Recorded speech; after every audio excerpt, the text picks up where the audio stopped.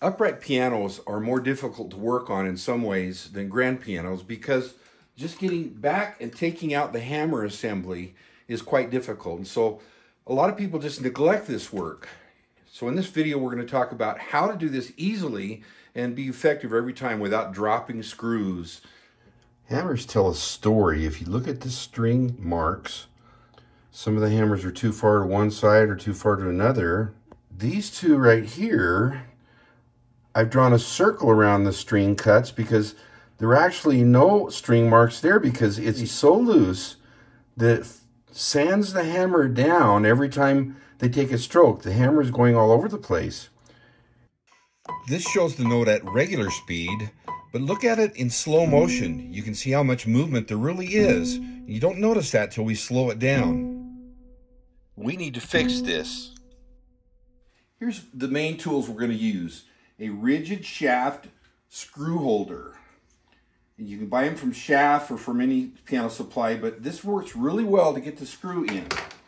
We're going to use a magnet, but these that you buy in the local hardware stores are too thick. You need something small like this that will go in without hurting the jacks and different things in there. This is a jack holder. It separates the jack from the let-off button and holds the jack out so you can see in the hole. And lastly, a flange screwdriver. The shoulders are thicker than this. You can get in and not hurt anything with this slim shaft that we have here. And I always put a little divot right there. You might use a pair of needle nose pliers or something to grab the bridle strap and put it back on. My fingers are kind of big and clumsy, so I like to use something to put that bridle strap back on. Here's a closer look at the four tools we're going to use. Try to find a small little magnet. Uh, that one is on a screwdriver I happen to have. First, remove the bridle strap so you won't forget where you are. Next, loosen the screw with your flange screwdriver, but don't take the screw out.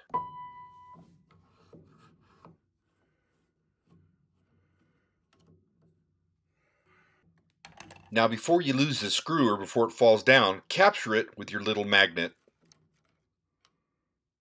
Step four is put that screw into your screw holder so it'll be ready to insert. Now remove the hammer and look at the repairs that need to be made. Now make your repairs.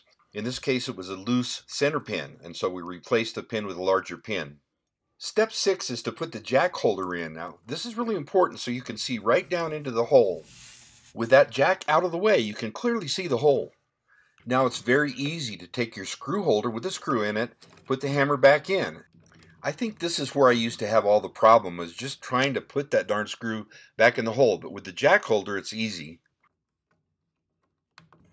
Don't forget to put the bridle strap back on. And last but not least, put the spring in if it has an American type spring.